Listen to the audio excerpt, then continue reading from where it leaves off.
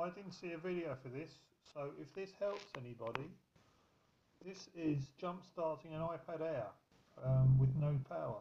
It was not charging at all, and um, the uh, person gave it to me to have a look at, see what I could do. I can get any life out of it.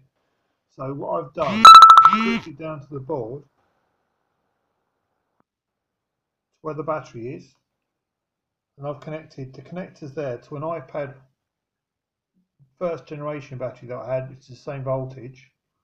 Um, I've jumped it basically, the connector pushes from the logic board down onto the battery.